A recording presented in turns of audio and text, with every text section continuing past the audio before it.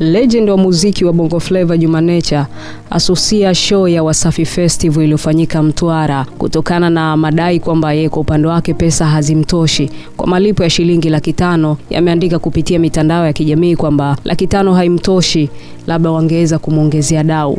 Baadhi ya mastaa mbalimbali wameonyesha kuungana naye akiwemo Q Chief.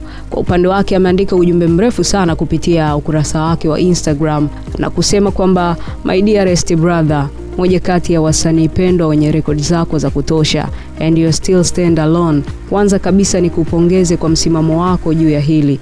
Isitoshe kusema Juma Nature amefanya mengi na anastahili more respect, sio ujinga tu lakini kwa upande wake akisema kwamba mtu akikurubuni kufanya kazi kwa laki tano ni zaidi ya dharau. Atafanya nini zaidi ya kulewa? Ni moja kati ya maneno ambayo ameandika kiuchifu kupitia mitandao ya kijamii. Lakini baada ya sakata hilo kuendelea kusumbua kwenye mitandao ya kijamii, amekuja mtu anaitwa Baba Levo, moja kati ya wasemaji kwa upande wa Diamond Platnumz. Baba Levo ameandika kwamba hakuna mtu wa Wasafi aliyempigia simu jumanecha. Wao ni kundi linaitwa TNC. Hakuna msanii atalipwa chini ya milioni kumi kwenye kundi lao. Ni moja kati ya maneno ambayo ameandika Baba Levo kupitia mitandao yake ya kijamii, watu wengi wakisema kwamba Juma Nature anastahili fedha zaidi ya hiyo. Laki tano haitoshi kwa legend kama Juma Nature, moja kati ya wasanii wa hip hop ambao wanaishi makubwa sana kwenye upande wa muziki. Wengine wakisema kwamba Juma Nature anastahili fedha aliyolipwa